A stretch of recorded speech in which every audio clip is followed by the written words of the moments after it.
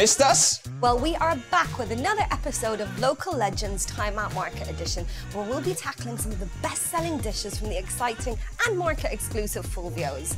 And we'll be finishing on a supremely sweet note, stuffing our faces with the very best desserts from Brix. If you're still not up to speed on what Time Out Market Dubai is, um, where have you been? What have you been doing? Set in the supreme surrounds of downtown Dubai, the 17 inimitable vendors here represent the very best this city has to offer. Well, enough talking, more pasta. Let's go. Let's go.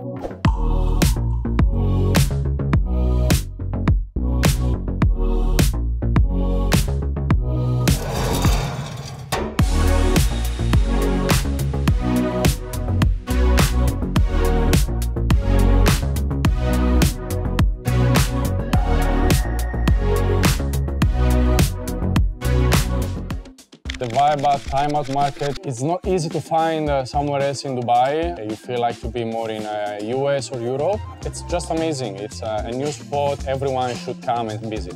Our best-selling dish, let's say all the pasta dish we have on the menu. Uh, if I have to pick one, uh, the risotto with uh, black truffle that we toast in the beautiful Parmesan way. My favorite dish on the menu, the tagliatelle with uh, beef sausage and uh, porcini mushroom.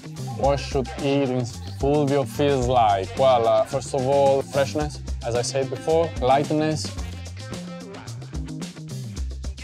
If you love Italian food, this is the market restaurant for you. This is a brand new concept from revered chef Fulvio. If you don't know, Chef Fulvio is the head chef at Orange Hospitality, which operates some time out, heavy hitting, award winning restaurants like Il Borro Tuscan Bistro. It's ready. and Alici, are you ready? Yeah, I think we are. we are, we are. These look amazing, and we are going to attempt to take you through We every apologise dish. to the nation of Italy in Yeah. advance I'm sorry. for our attempts at the pronunciation of your food. So this is one that you're going to be having, and it is vitello tonnato, thinly sliced roasted veal in a light tuna sauce with fried capers. This is the risotto in forma di parmigiano e tartufo, which is carnaroli rice tossed in the parmesan wheel. Yep. Superb. One at Dinner the counter. and a show. Yes, dinner and a show, and then you've got shavings of truffle on top. Shavings. So truffle, truffle, truffle.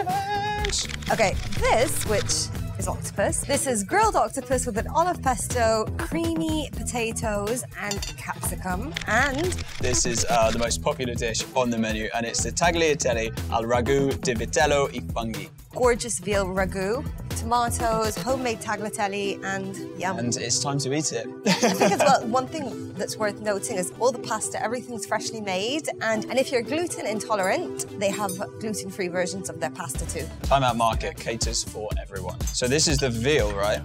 Mm-hmm. A light tuna sauce, and then you've got A some light fried tuna sauce. capers. Fried capers in there as well. That is a medley. This is really light and it's I feel like you're intrigued with every bite. You're just like, whoa, what is yeah, this? taking on a bit of an adventure, and I like it. Ooh, Italian escape. through Italy. And I think it's a nice portion that you could easily come with a group of friends and Absolutely. share. And again, that's I think one of the Great for nicest things about the, the market is most of the dishes are very shareable, meaning you can have as many of the 17 restaurants as you can. All hands in. Okay, I'm just going to get stuck into this. Crack on. Uh, I really want that. What's going on, Reams? What's going on inside that mouth of yours? Because I'm getting very envious. Well, it's really tender. It's not chewy at all, and there's a really nice charcoal taste. It's an absolute slab as well. Like Yeah, it generous definitely looks portion. like at one point in its in its past life, it was uh, swallowing Jack Sparrow as well as a giant pirate ship in Pirates of the Caribbean. This is the Parmesan risotto with truffle. I'm Just gonna, like I said, this is the one that comes with a bit of a show because you can just see it being tossed in the big Parmesan wheel. The, the Parmesan wheel. My favourite type of wheel, incidentally. I keep seeing I keep seeing people around the market with this, but I haven't tried it yet. I think it's because like it's made in the wheel, which you just get the wow factor as well. Truffle's a, a tricky flavour, right? Yeah, yeah, I definitely think truffle can be overwhelming, but this is just really well balanced. I feel like from the restaurants we've all been to so far, this is probably the most fine dining market experience Yeah. I've tried yet. It's refined. It's incredibly elegant, refined. It's yeah. like guys, multi, multi timeout award-winning restaurants, chefs, kitchens behind these plates. The standard is is up there. I want this. I just want to hear your reaction to it because it is one of their best sellers. Go on, give the people what they want. Piping warm. Where does where does tagliatelle rank for you in terms of pasta? I'm a fan. Say it to my top five. Top five. You can taste the authenticity coming through. Does it taste like a slow cooked ragu? When you think of Italian food, this is this is what comes to mind. We've essentially just been to Italy and back. For lunch, Yeah. fantastic. Wonderful. Can't be beat. Stamps in the passport. But we uh we're not done yet, are we, Ribs? No, we need to leave some space because we will be having some of Brix's most popular desserts and they, They know. look absolutely unreal, and Yeah. uh, we've both got sweet teeth, Yeah. sweet All, tooths, all of my teeth are sweet. sweet mouths. Let's go. I'm just gonna have one last bite of this.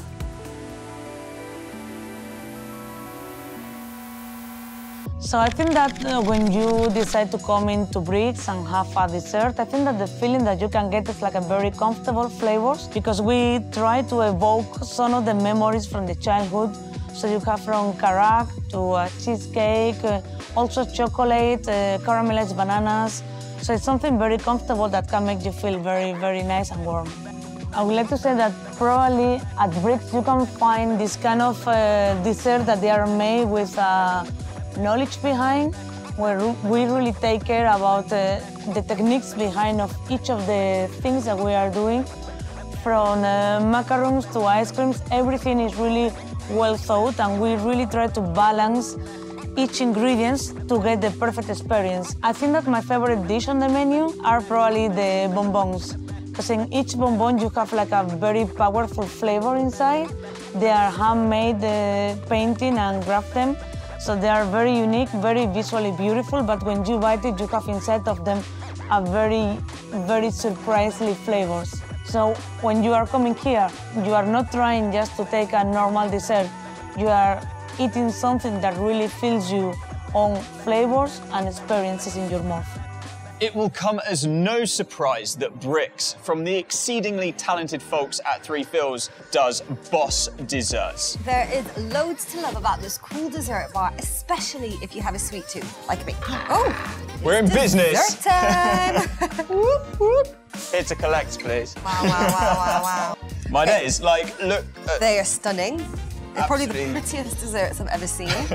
but I feel like we're on a time crunch here because we've got lots of ice creams. we are on time crunches, but it's also one of those things where you don't want to touch anything because it all looks so ridiculously unbelievable. Like, I- what was this one again? This is the Ispahan, which is like a milk cake with rose and raspberries. I just, I, I don't want to touch it. It's, I think you just need to have a bite of that. I need to eat this though, right? This is Because one of the most popular desserts here, and it's the macaroon sandwich cakes, and that's the coconut and raspberry one, and so elegant. Mm. Yum. oh wow. The um raspberry. So sharp. Yeah, so tangy, like so flavorful. Like if you were half asleep when you ordered this, you'll certainly be awake when you've got it in your mouth. Are you enjoying that? you need some of this now, don't you? I'm also like not gonna hang around Okay. because Yeah, just dig in. what, what have you got your eye on? I'm going for the African African powerhouse. Massive fan. I'm just going to finish this one off and be done with it. It's really good. It's so smooth, Reams. It's absolutely ridiculous. I, I think the best way to describe this is like danger dessert because you could sit here and Reams, if you're not careful, this is like going to disappear in Okay. front of you before you've I'm going to get a bite with the sea salt. Ooh, a bit of ice cream. It tastes like what cartoon food would taste like, you know, when something's so like aesthetically pleasing. Have a bite with the sea salt. That's the kicker, is it? It's kind of like a bit like mousse-like texture. It's that soft and creamy. It's just like velvet, chef. Thank you, chef. Mm. Here we go. This, is, is- the Karak tea cheesecake, right? Yeah. Okay, I'm just gonna, You go first this gonna time. dig in.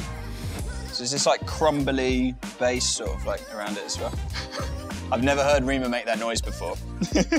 I love tea. Tea was great. Right, so this is, I'm imagining this Is a milk is going to be a bit of a contrast to the uh, karak tea, right? Yeah, but just very, very light. Just try and get some of the milk. It's So it- infused with rose and raspberries, Oh, it's raspberry, is it? Okay. meringue shards.